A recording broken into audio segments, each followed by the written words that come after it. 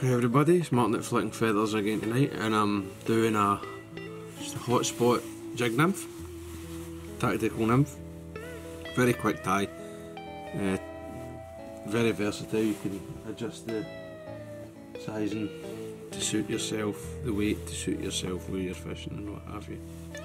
So this is a size 12 um, but obviously 12s to 18s at least 10s to 18s if you like. Uh, and I've got a three and a half mil tungsten bead on the hook already. And I'm just going to wind on some 6 aught olive thread. Obviously you could go to 3.8 if you wish maybe down to 3 um, tie them in different weights. Uh, and I'm using a black bead for this because I want it to sort of blend slightly with the darker dubbing and in the hot spot. So tail is as usual Coq de Leon and it's got a shank length so come in just take a turn to hold it then the rib, um, I'm going to rub it with uh, some small silver wire. This is just the UTC wire. You can use whatever you like. And as usual, I'm just going to push my wire in the back of the bead.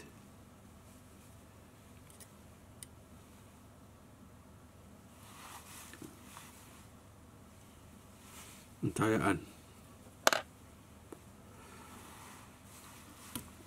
And then you can trim away your waste for the Coq de Leon.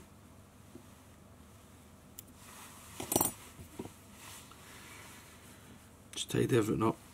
And I'm going to sort of build a wee taper in the body. You don't really need to do this but I like to. So to do that I'm just going to run the thread three quarters of the way down and back to the bead.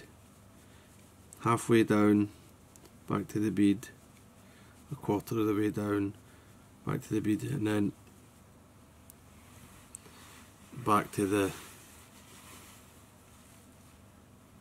the bottom there. So the body I'm going to use um, Scud dubbing. I'm using dark Sowbug um, it's kind of dark olivish grey. So it's this, you know, it kind of is a decent,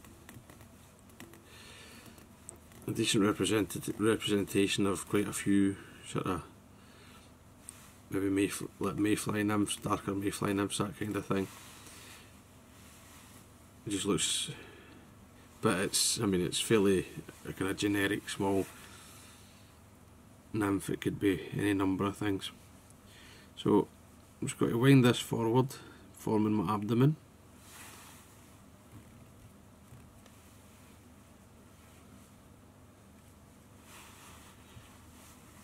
And then I'll just take my rib up.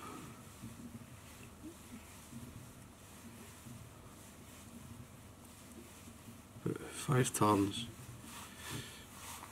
Come across my thread. Tie that off.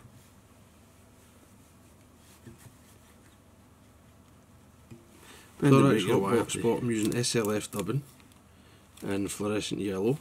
Obviously you can change you can change the colours but I would advise going with a fluorescent uh, a fluorescent colour because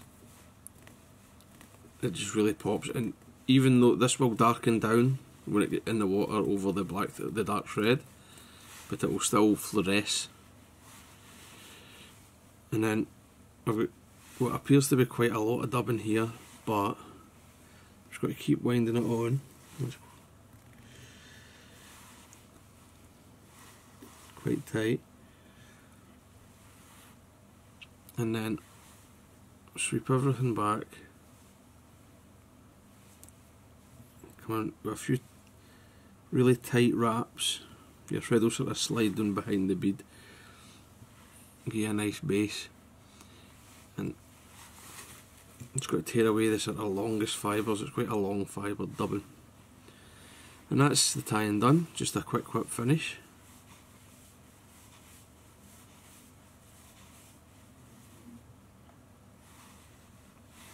And again.